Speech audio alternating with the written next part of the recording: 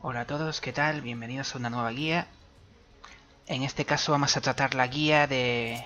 No vamos a hacer ninguna dungeon ni nada de esto, sino que vamos a tratar la guía de una de las clases, uno de los jobs, que es el Machinist. Vamos a ver además del Machinist, bueno, es uno de los tres jobs que son Ranged, los Physical Ranged. El Machinist viene a ser como el Black Mage de, de los Ranged. ¿Qué significa? Que es el que menos utilidad tiene para la party, pero es el que más daño hace. El bardo tiene eh, utilidad para la party y el dancer tiene muchísima utilidad, pero es el que menos daño hace. Por lo tanto, eh, vamos a ver un poco pues cómo se usa este mini Black Mage. Mucho más móvil que un Black Mage, eso sí. y bueno, también quería hacer la guía de, del Gunbreaker, que es uno de los nuevos jobs. Pero me corría algo más deprisa la del Machinist porque se la prometía un amigo. Entonces, bueno, vamos a mirar un poco todo lo que son todas las habilidades. Recordar que en el vídeo, eh, en la descripción del vídeo, primero voy a poner una imagen que tengo, que es la siguiente.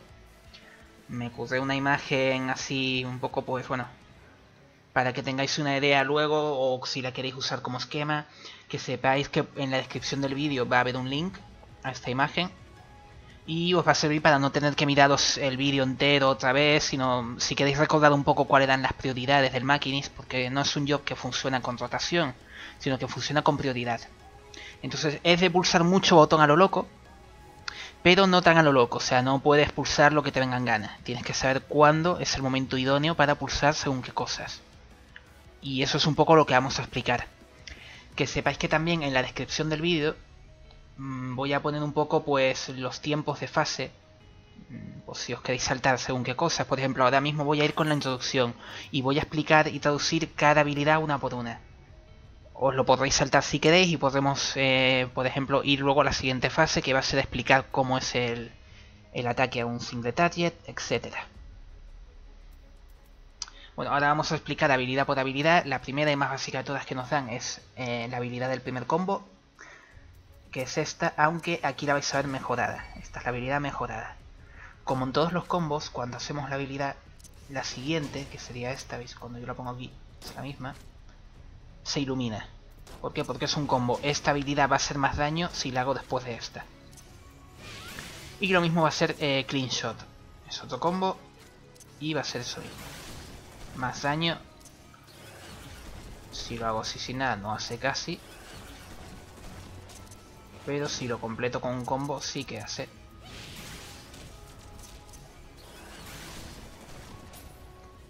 Luego tenemos Hot Shot, que luego se transforma en otra habilidad, que es Air Anchor. Y le cambia bastante el daño que hace, pero en fin, Hot Shot lo que va a hacer es que nos va a llenar 20 de la batería, que es esta barrita de aquí, la batería. Luego la explico. Y hace daño. Esta es una de las máximas habilidades de prioridad, pero luego explicaremos eso. Tenemos Reassemble, que bueno, lo que va a hacer es que la próxima habilidad que hagamos, Weapon Skill, no, no, no habilidad de estas como Ricochet y demás, sino Weapon Skill, como esta, va a ser crítico y Direct Hit 100% asegurado. Se va a pegar caña. Mucha pupa. Luego tenemos Gauss Round, que eh, os adelanto va a ser parecida a Ricochet. Son dos habilidades que podemos ir haciendo, cada una tiene tres cargas. Por ejemplo, si yo uso una, sigo pudiendo volver a usarla porque veis, tiene dos cargas. ¿Qué pasa con estas habilidades? Pues bueno, son sedes y lo que pasa con las sedes es que siempre las vamos a ir usando entre medio de las globals. En este caso del combo, o entre medio de hotshot, de drill, etcétera.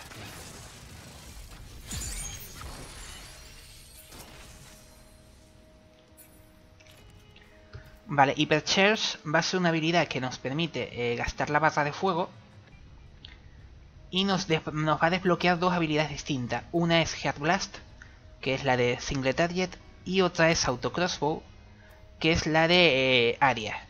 Entonces vamos a usarla. Vais a ver que primero mm, nos va a quitar la barra y segundo nos va a poner aquí un simbolito como de fuego con un temporizador que es el temporizador en el que podemos usar esas dos habilidades. Vamos a usarla. Esta sería ¿Veis? Head Blast. Y esta sería Auto Crossbow. Esa es la función de Hyper. Nos gasta 50 de barra y nos va a permitir usar esas dos habilidades que luego explicaré eh, más a paso qué hace cada una. Luego Auto Turret, que luego evoluciona a que una Automaton Queen al 80. Lo que va a hacer es gastar la barra de energía. Podemos usar esta barra a partir del 50 sí o sí. Lo que tiene defecto es que si la haces al 60 dura un poco más la torre, si lo haces al 100 dura más, etc. Pero es una barra que podéis usar cuando queráis, ¿eh? no, hace falta llenarla al 100% como la del bardo. Podéis usarla al 50 o lo que sea. ¿Veis? En este caso pues dura 20 segundos y ahora este especie de mecha tan majo va a fliparse.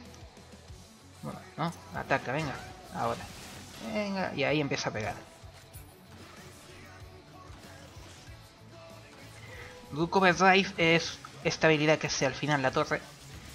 ¿Veis? Que se flipa. Pues le podemos ordenar que la haga. Aquí se llama Rook Overdrive, pero luego cuando mejora pues es el Automatan Queen Overdrive. Mm, no la vais a usar mucho en realidad, porque esta habilidad la hace automáticamente cuando desaparece la torre. Y el único uso que tendría al usarla manualmente es por si tienes 50 de barra al final de un boss, en raideo o algo, y quieres petarte en el log y, bueno, no te sirve nada que la torre se quede ahí 4 segundos cuando el boss va a durar 1. Y entonces quieres que explote automáticamente y le pegue el petardazo. Es cuando único vas a usar esta habilidad, si no es desde raid, es que ni te merece la pena optimizarlo. Yo la tengo ahí, pues mira, por si acaso, pero no, no es necesaria. Willfire es una de las habilidades de máxima prioridad. Porque lo que va a hacer es que le va a poner un debuffo al enemigo. Y durante ese tiempo de debuffo, cada habilidad que le peguemos va a suponer un daño. En este caso, cuando está mejorado a tope, pues 200. ¿Qué significa? Que si durante Willfire yo le pego tres golpes, da igual qué tipo de golpe sea. Por ejemplo, esto, un golpe. Dos golpes, y tres golpes. Ahora cuando termine, si yo no le pego más golpes, hará una potencia de 600. Sé como 600 de potencia. Que viene a ser incluso más que Hatted Shot.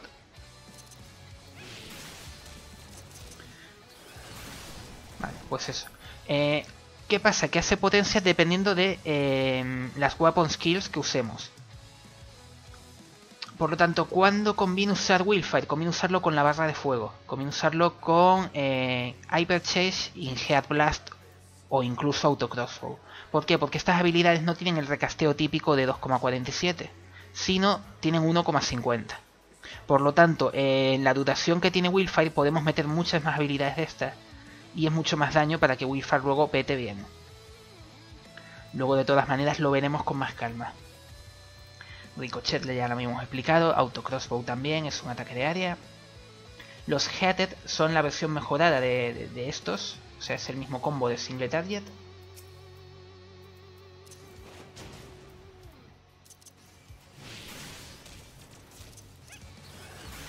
Luego tenemos Tactician, que es lo mismo que el Samba y el Robador del Bardo. Es una habilidad de área y nos va pues, bueno, a beneficiar a todos nos va a dar una defensa de 10% de defensa durante 15 segundos. Además, pues tiene un recasteo de 2 minutos. O sea que lo podemos usar en casi todos los pools o cada dos pools. No está mal. Recordar que no se estaquea con el del bardo o con el del maquinist, eh, perdón, el dancer. Así que si un dancer ya en la party lo ha hecho, no lo hagas tú tampoco porque no, no va a mejorar nada. Luego Drill es otra de las habilidades importantes porque esta habilidad eh, pega mucho y además es cada 20 segundos, está fuera del combo, por así decirlo. ¿Veis? Es igual que Air Anchor o Hot Shot, son dos habilidades que están fuera del combo. Pero son habilidades, perdón, habilidades Weapon Skill y pegan bastante bien.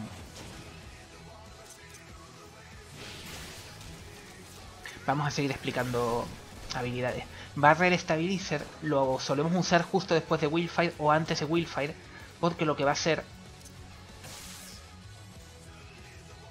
es un poco, pues bueno, eh, nos va a dar 50 de barra de fuego. Solamente se puede usar en combate. ¿Veis? Nos sube, nos da 50. Que es justo lo que hará falta siempre con Willfire, 50. Luego tenemos el Flamethrower, es una especie de veneno que se pone, eh, cuidado además porque es una especie de veneno que vamos a poner eh, durante un tiempo y el personaje no se puede mover durante este tiempo porque va a fallar si lo movemos. Y además no es como todas las habilidades que usamos que siempre, ¿veis? Estemos mirando donde estemos mirando, eh, se gira automáticamente y golpea, ¿no?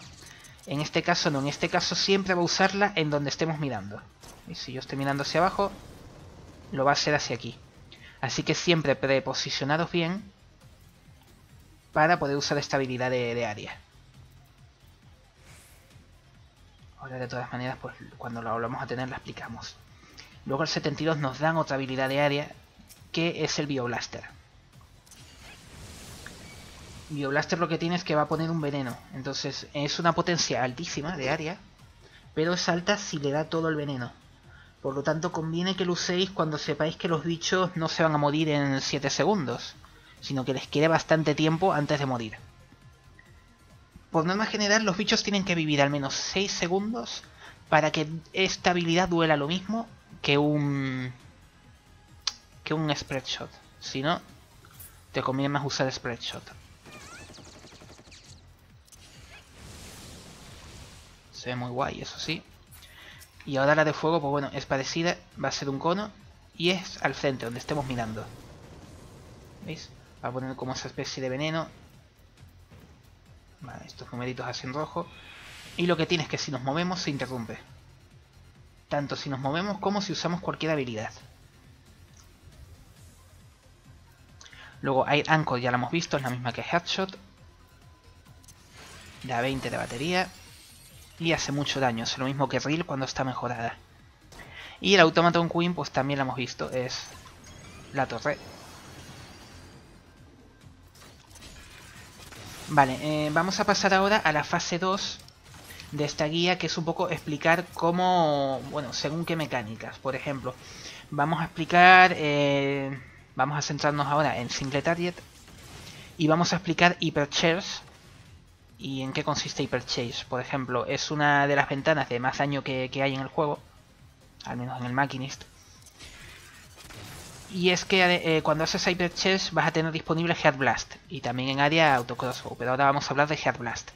Head Blast va a hacer que estas dos habilidades de aquí se rellenen. ¿Veis cómo se van rellenando? Por lo tanto hay que usarlas, estas, en medio del Head Blast. ¿Qué pasa además? Que luego tenemos eh, Willfight, que nos va a convenir siempre usarlo con Hypercharge. Yo lo voy a llamar Hyper porque me suena más, fácil. Bueno, siempre vamos a combinar eh, Willfire con Hyper. Y además, pues bueno, esto siempre lo vamos a tener que hacer entre medio de globals, ¿veis? Yo estoy ahora mismo haciendo unas globals. Y ahora termino. Hago Willfire, hago Hyper Chase y empiezo a pegarle los Head Blast y todo esto para que se combine bien con el Head Blast. Y luego ya continúa el combo. Vale, ahora vamos a hablar también de lo que serían las máximas prioridades, que son eh, Drill y Hot Anchor. De hecho, vamos a ver de nuevo em, un poco la imagen y por qué son máxima prioridad. Vale, ¿por qué son máxima prioridad? Porque estas son las habilidades que más daño hacen. Por ejemplo, em, vemos aquí el 0, Entonces, estas habilidades hay que usarlas sí o sí siempre que lleguemos a cero.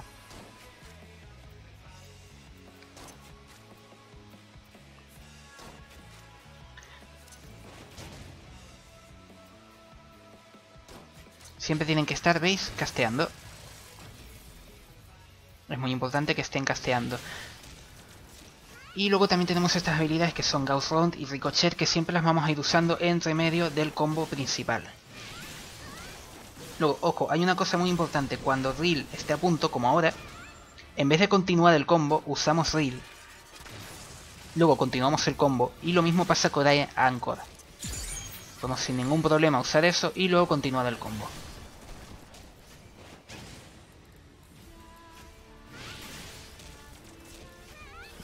No hay ningún problema, por eso el combo baja prioridad, porque siempre vamos a poder aparcarlo. ¿Veis? Se va a quedar ahí. Y podemos continuar con el resto de habilidades. Luego ya hemos visto que Hyper Chase o Hyper, como lo llamo yo, eh, nos va a permitir usar el Head Blast. Y que además eh, con eso significa que también se va a recastear Gauss y Ricochet. Pero eh, hay una cosa que nos pasa cuando a veces usamos Hyper Chase y que hay que tener mucho cuidado con Hyper. Y es cuando tenemos Hyper y tenemos además Drill y Aidancor.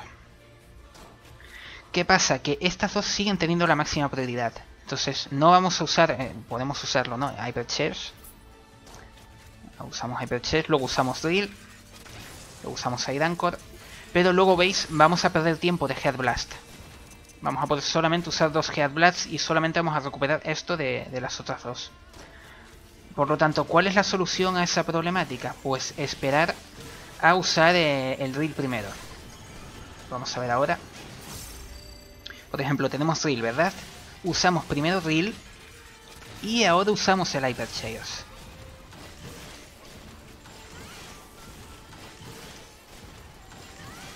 ¿Por qué? Porque así estamos usando la ventana del Hyper entre medio de los casteos de Drill y de Aidancor. Esto es además vital para un máquina y si quieres sacar de verdad el máximo rendimiento es vital que controles mucho eh, estas dos. Por ejemplo, eh, aunque yo tenga barra 65, ahora voy a tener 70, aunque la barra me vaya creciendo, no puedo usar Hyper Chase porque le faltan menos de 9 segundos a Reel. Uso Reel y ahora sí que puedo usar Hyper Chase. Porque en lo que dura la ventana de Hyper, no me va a recastear eh, ¿Veis? No vamos a tener listos ni hay Anchor ni vamos a tener listos el Reel. Ahora sí. Luego hay otra cuestión, ya hemos explicado de que podéis usar cualquiera de esas dos habilidades entre medio del combo, pero también podéis usar el hyper, eh, el hyper en medio del combo. No voy a usarlo ahora porque estamos con a punto de tener el reel. Usamos reel primero. Y ahora, por ejemplo, imaginaos, uso la primera parte del combo. Uso Hyper. Con los consecuentes Head Blast. Y ahora continúo el combo, ¿veis?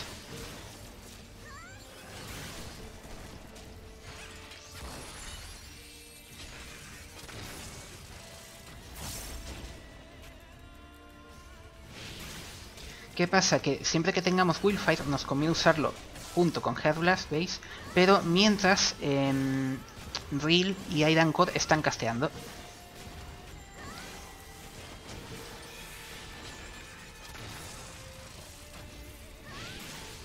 Por lo tanto, Willfire sí tiene una prioridad muy alta, pero hay que usar la Willfire siempre después de estos dos.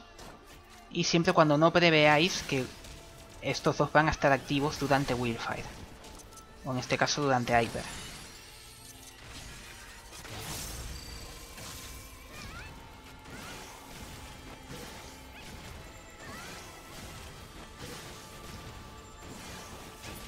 Luego vamos a ver un poco lo que son los áreas em, y la prioridad de los áreas. Aquí los tenemos. La primera prioridad más absoluta de los áreas pues es Reassemble porque es una habilidad que permite que en la próxima sea Direct Hit. Y además siempre la vamos a usar con Spread Shot, no funciona con Bioblaster.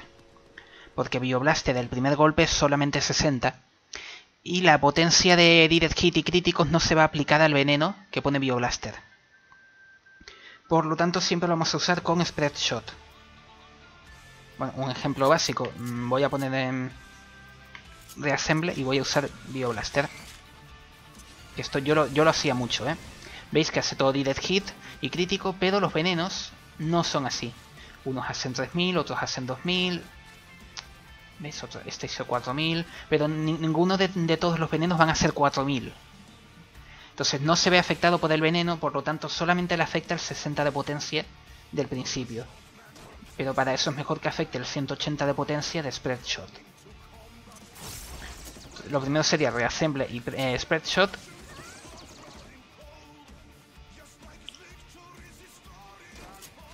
Bueno, no se mostró en el vídeo eh, lo que pasó con Bioblaster, lo voy a volver a mostrar. Si usamos reassemble, siempre la próxima habilidad va a ser direct hit y crítica. Pero en el caso de Bioblaster solamente el primer golpe va a ser ese efecto. El primer golpe es direct, pero algunos venenos van a ser 2000, 2100, otros van a ser 3000, 4000, como en este caso. Y eso es un poco lo que pasa con Bioblaster, por eso no funciona hacer Bioblaster con Reassemble. Una vez hemos hecho eh, Reassemble más Spreadshot, hacemos Bioblaster y hacemos eh, lanzallamas, Flamethrower. Ojo con el lanzallamas porque em, si te mueves lo vas a interrumpir. ¿Veis? Si hay algún área o algo vais a tener que interrumpirlo, pero bueno, seguís continuando con Spread Shot y Ricochets y lo que, lo que haga falta. Bioblaster si está activo lo usamos siempre. Luego hay una cosa que tenéis que tener en cuenta y es que tres de los ataques de área del Machinis son un cono, como el que estamos viendo ahora. Pero es un cono bastante amplio, o sea... Si yo estoy aquí, veis, le va a pegar a los tres, porque hace este efecto. Que es un efecto bastante amplio en el cono. Pero si me acerco mucho, ya no le voy a dar sino a uno. Por lo tanto, siempre nos podemos estar bastante alejados para estos ataques, porque tienen mucho alcance. Lo mismo pasa con el autocrossbow, que es el de Hyper. En este se ve más visible con esa humareda eh, lo que es el alcance del cono. Pero eh, Flying Tower es un poco especial porque mientras que el resto tiene 12 de alcance, Flying Tower tiene menos, tiene 8. Entonces siempre vamos a tener que estar un poquito más cerca para el lanzallamas. Y ojo además porque al contrario que estas habilidades, que si no estamos mirando a los enemigos nos giramos automáticamente y les damos, ¿veis? Aunque yo no les mire, con el lanzallamas sí que nos va a pasar que si no estamos mirando al objetivo, no le va a dar. Porque el lanzallamas se va a activar donde está mirando el personaje. Por lo tanto, yo lo que recomiendo es, bueno, por eso siempre se usa primero el Bioblaster, porque va a ser que giremos, y luego con la misma usamos el lanzallamas. No es un gran problema, pero es algo que a tener en cuenta. Vamos a poner de nuevo la imagen. Recordar que bueno, hasta aquí llegaría todo lo que es el, tema teórico del Machinist, cómo funciona cada habilidad, cuándo hay que en teoría hacerlo, todo. En el vídeo os voy a poner en la descripción esta imagen para que podáis tenerla a modo de esquema, que os explica un poco, pues resumidas cuentas, todo lo que hemos explicado en el vídeo. Y de todas maneras voy a hacer un segundo vídeo que va a ser el práctico. En el práctico vamos a practicar eh, lo que sería el opener vamos a ver unos par de minutos cómo sería luchar con el Maquinista 100% y haciendo primero single target y luego haciendo áreas. Y luego como toque final vamos también a em, hacer una dungeon. Y en la dungeon vamos a poner en práctica todos esos conocimientos. Entonces nada gente, eh, os veo después. Preparo la guía práctica y si os ha gustado esta, pues le dais el like, como siempre, toda la tontería. Y os vais también a ver la guía práctica si necesitáis todavía ver cómo sería eh, el Machinist a full, dándole a todo. Un saludo.